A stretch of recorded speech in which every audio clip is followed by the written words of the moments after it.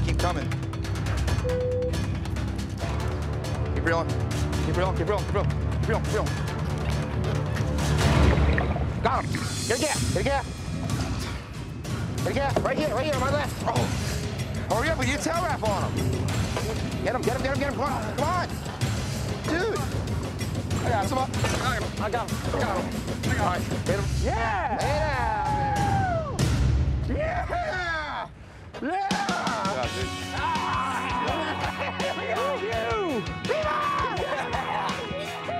You know, it's the first one of the year. and That's all we need more than anything, man. The first one of the year is the most important one.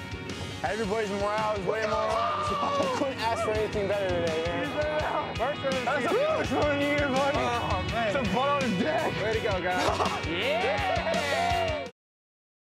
You guys are almost in survival mode out there on that boat in nowhere, wherever you are. Yeah, some days it's not nice.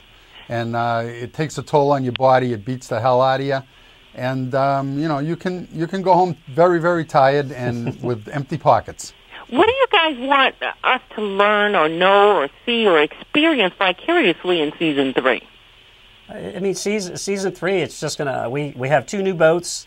Uh, the competition is becoming more extreme. You know, I mean, we're we're on national television. You know, uh, we were competitive before, but we're more more competitive now than than ever. You know, everybody's watching, so every boat wants to catch the most fish. Every boat wants to catch the biggest fish, and every boat wants to make the most money. I mean, it's it's going to be extremely competitive this year, and a lot of rough weather and uh, quite a few mishaps.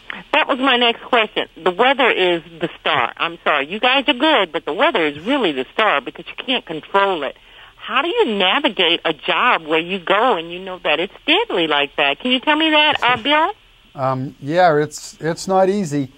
Um, like I say, it, it beats the hell out of you, and you go home extremely tired after that. You don't get any rest. You know, very bad sleep. Um, you're holding on all the time. Your muscles get tired, and and it's not fun. There's no fun involved when it gets like that. Bad sleep, no sleep. No sleep. Yeah. Bill, you say the crew is, is it's a crew type environment. Tell me a little about your crew. Um, the people that have been fishing with me um, have been there a long time. You know, my wife also goes, and she's very good at it. And um, yep. you know, she's a she's a she's a trooper, man. She's she's real tough, and I wouldn't want to fight with her. I can no. tell you that. That's one thing I'll agree with them on. Dave, what is your specific task to make the survival method on uh, Wicked Tuna work? I mean, just again, we work together as a crew. You know, like we were saying, there's very little sleep. You know, we just to catch these fish. These fish are very smart. They've been around. We just have to be a little bit smarter to trick them. I mean, we have a lot of different baits that we use. We have a lot of different techniques. And again, just just working together as a team. It's definitely a team effort. You know, we just we stick together. We, we, we value each other's opinions. You know, we put the baits in that we think are the best, and, and we get it done. And you know, that's why we catch fish. Again, it's it's all teamwork.